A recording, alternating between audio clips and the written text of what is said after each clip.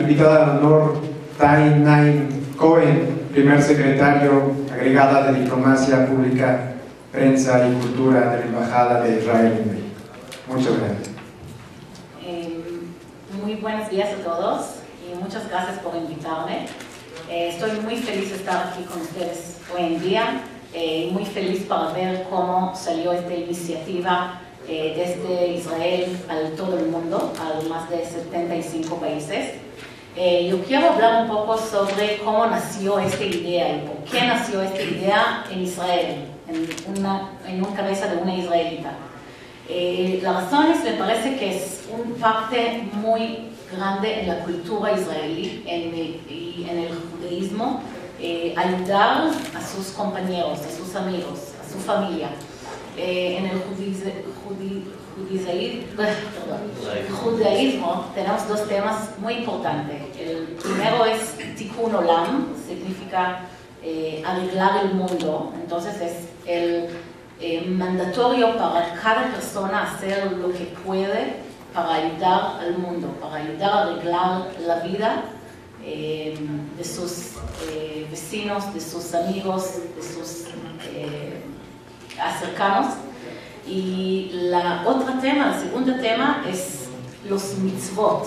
Los mitzvot significa en español mandamiento, mandamiento y en el judaísmo hay 613 mandamientos que cada judío o cada ser humano tiene que hacer en su vida para cumplir sus obligaciones. Y estas cosas son muy simples. Por ejemplo, un mandamiento es dar el respeto y el honor a sus padres.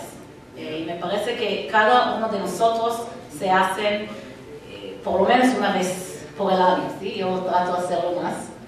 Eh, otro ejemplo por un mandamiento es dar las felicidades a un novio y novia en, el día de su boda.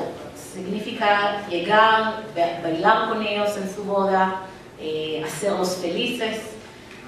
y me parece que este es un ejemplo como nosotros como seres humanos podemos ayudar o hacer una diferencia pequeña en el mundo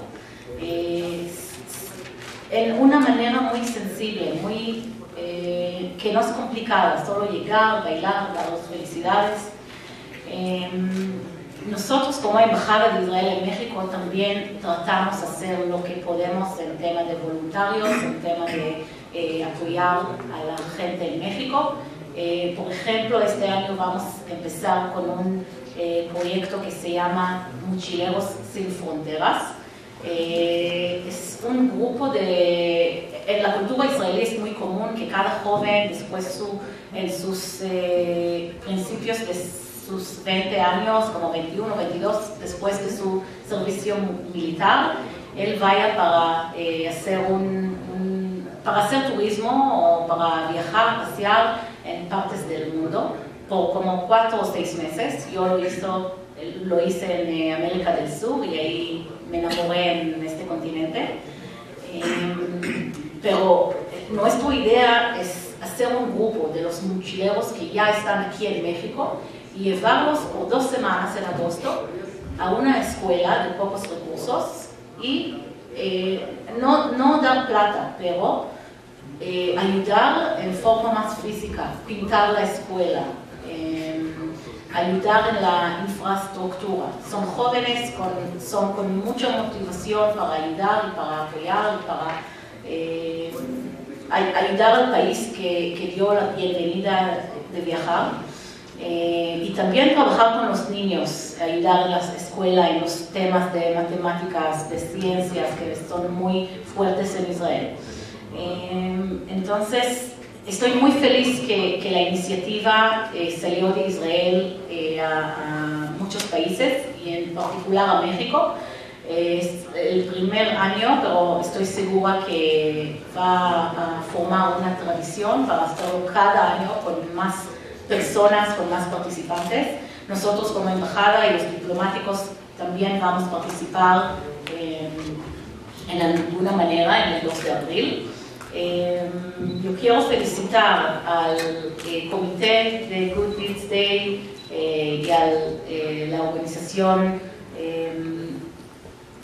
Uriel y de Grey eh, hands-on para tomar la iniciativa y llevarla aquí a México. Y yo quiero eh, felicitar a todos los mexicanos que van a eh, participar.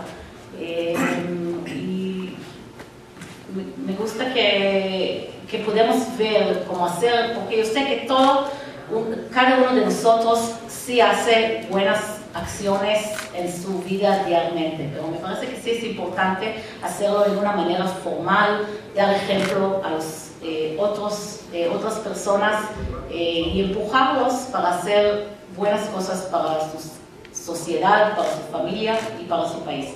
Muchas gracias.